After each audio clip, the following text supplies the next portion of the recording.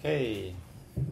Hallo, hier sind Muho und, Und Didier, hallo, grüßt euch. aus Aschia. Und ähm, wenn ich mich recht erinnere, da saßen wir vor ein paar Wochen in einem Café nach dem Essen beim Koreaner. Und äh, ich hatte dir eine Frage eines Zuschauers vorgelesen, der litt unter anderem unter, wie sagt man, Herzflimmern, Flattern? Wie, was ist der Wort? Ja, oder Vorhofflimmern kann das sein? Vor, Also irgendeine Herzproblematik war es auf jeden Fall.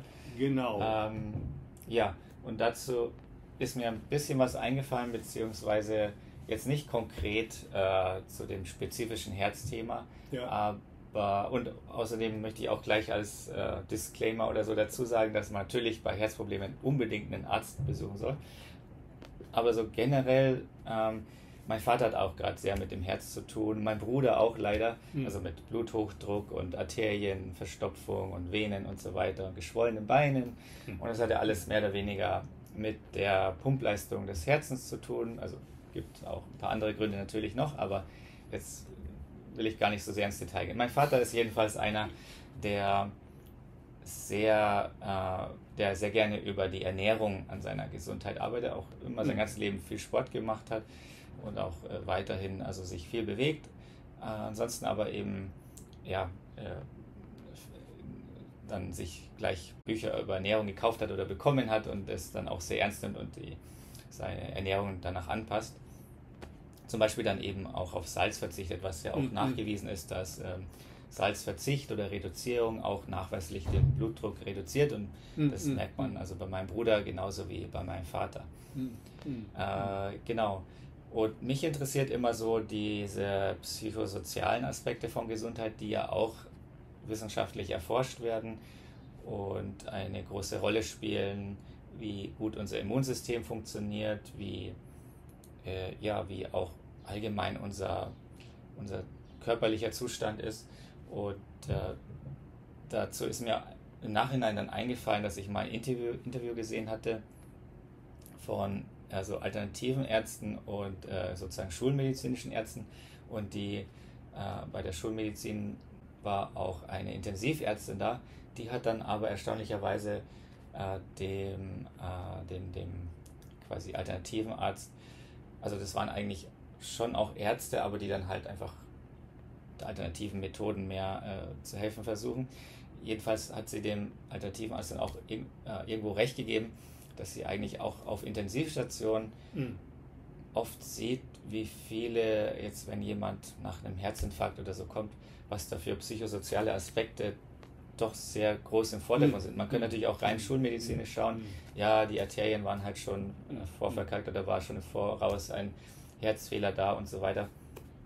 Aber was dann das System zum Kippen gebracht hat, war dann vielleicht doch einfach die, äh, dieser, dieser, dieser Gipfel an Belastungen aus äh, Beziehungsproblemen, vielleicht intensiver, andauernder Streit oder Konflikt mit der Ehefrau, mit, weiß ich nicht, Tochter oder Sohn oder äh, in der Arbeit andauernde Überbelastung, sodass sich einfach, ja, sodass man sich also wirklich sprichwörtlich sozusagen das Herz sich einfach erschöpft hat und dann in so einer Problematik dann mündet.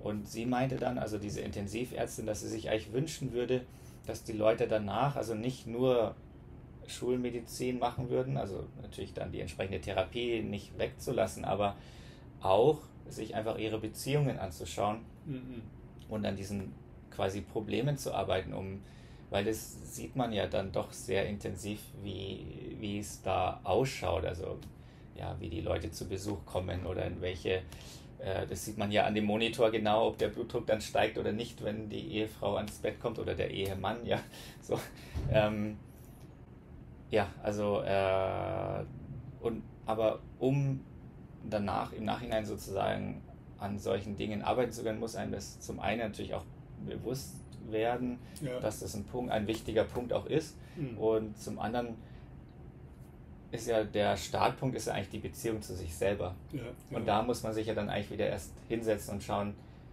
wie gehe ich eigentlich mit mir selber um?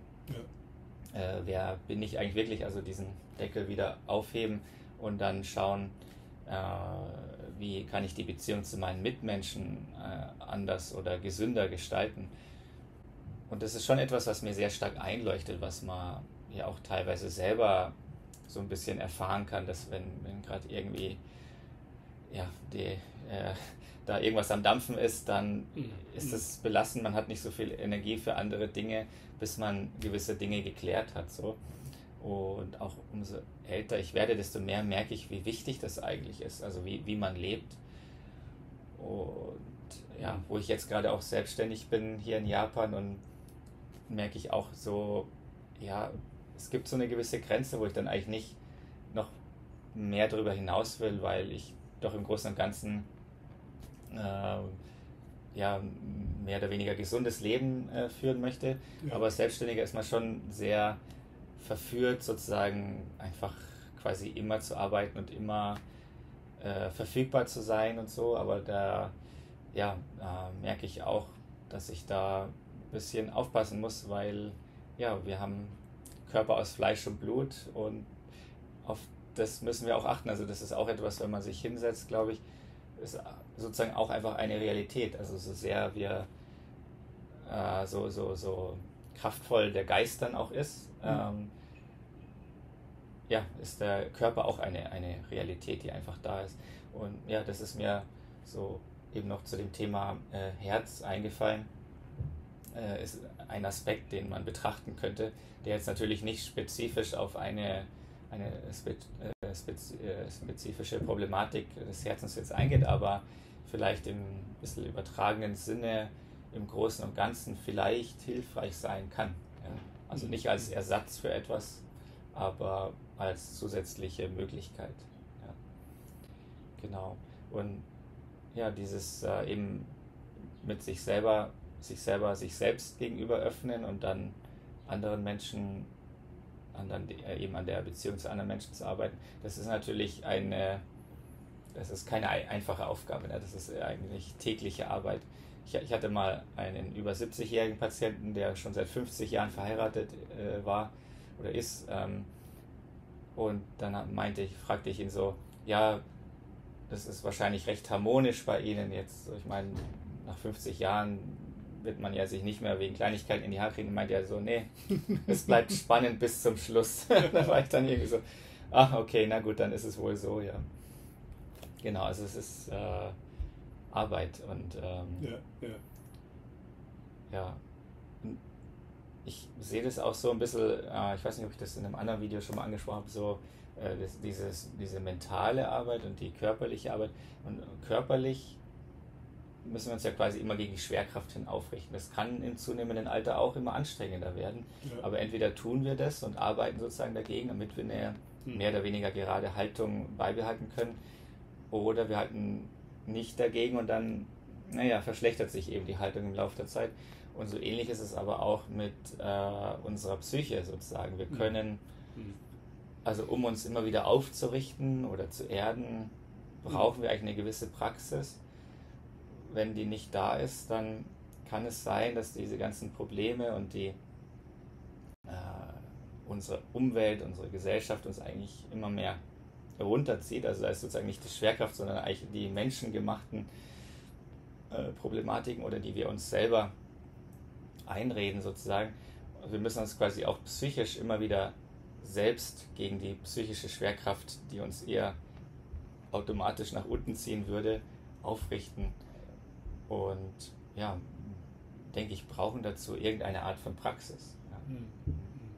Und du hattest die Natur angesprochen, also das ist eine wunderbare ja, Möglichkeit, ja. Äh, sich einfach frei zu machen von diesen, für einen Moment, für ein paar Stunden vielleicht oder einen Tag oder eine Woche sogar, von gesellschaftlichen Zwängen oder mhm. den üblichen Gedankenketten, denen man so nachhängt, weil ja, das ist mir auch eingefallen. Äh, in der Natur begegnen wir eigentlich den Lehrern unserer Lehrer.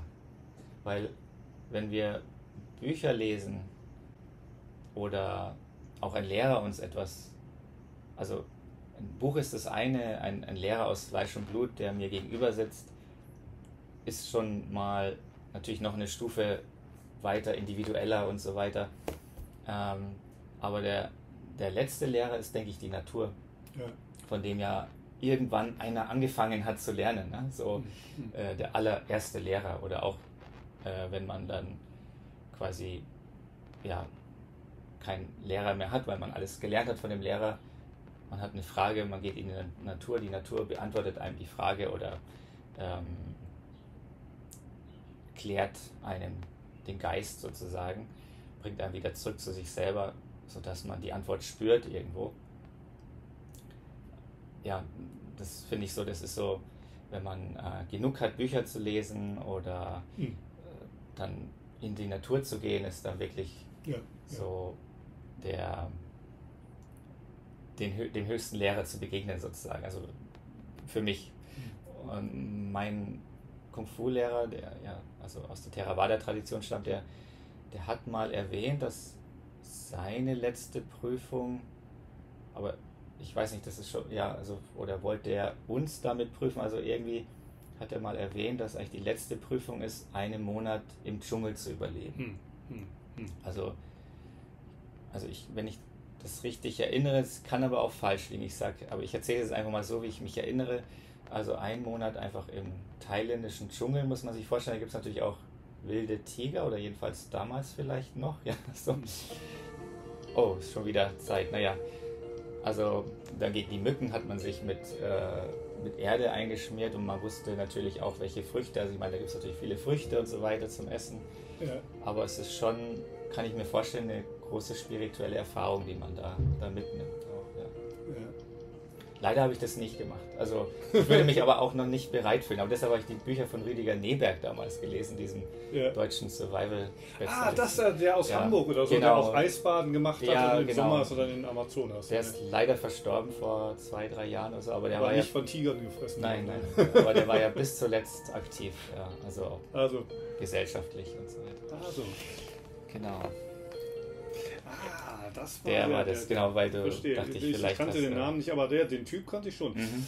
Also Im, Im Stern oder so habe ich den wahrscheinlich auch mal gesehen und fand den faszinierend. ne? Mhm. Also auch so, so nackt oder so im Winter raus. ne? Ja, ja. Und, äh, Brasilien ist ja quasi nur mit so einem. Das habe ich eben auch gerne gemacht. Ne? Mhm. Also im, im, im, im kältesten Winter, Mhm. als ich Abi gemacht habe, minus Mhm. 20 Grad, bin ich Mhm. immer mit dem T-Shirt raus Mhm. und meine Freunde habe ich mit dem Neberg dann immer verglichen. ne? Mhm. Also dann ist der doch bekannt hier. Ja, ja, also das, äh, bloß den Namen hatte ich vergessen. Noch eins oder wie schaut es denn aus? Das Gerne, gerne. Ah, letztes noch, oder? Kennst du dich aus mit Wasserhaushalt und so? Bedeutung des Wassers für den Menschen? ja, Wasser kann ich was dazu sagen. Also Also, wir bestehen ja zu 70 Prozent aus Wasser Mhm. und so weiter. äh, sonst hätte ich eine Frage dazu meinerseits. Also, Ja, weil es für mich jetzt so, so Ja. in, den letzten Jahren, im Ja. letzten Jahrzehnt so ein bisschen ein Topic geworden ist. Davor war es gar nicht. Wenn, wenn du dich da ein bisschen auskennst mit. ja, Ne? ja.